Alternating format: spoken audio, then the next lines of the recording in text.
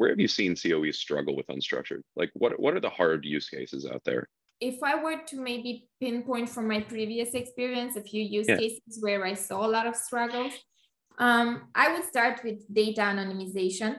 This uh, is extremely important. And when um, the new regulations related to GDPR kicked in for Europe, especially, that is when everybody was looking to how they can actually anonymize all their data across all of the documents and think about contracts, think about any lease um, agreements, anything that include PII data.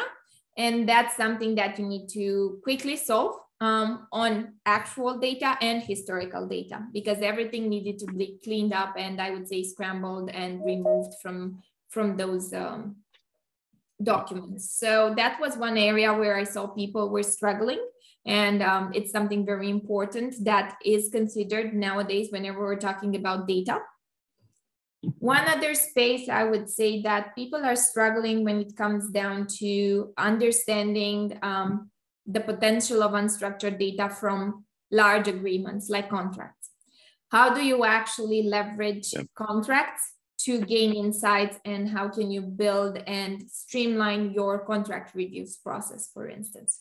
How can you do that? And that's a space that still, I would say, there are a few use cases and there are a few companies that were able to do something but i think there is much more potential that sits in that space related to how you can actually identify contract types how you can decide if the user is a buyer or a seller how you can flag the risks because imagine yeah. reading hundreds of pages of contract and for sure that's error prone because you as a user get tired sometimes. So you may miss something that is flagged actually as a risk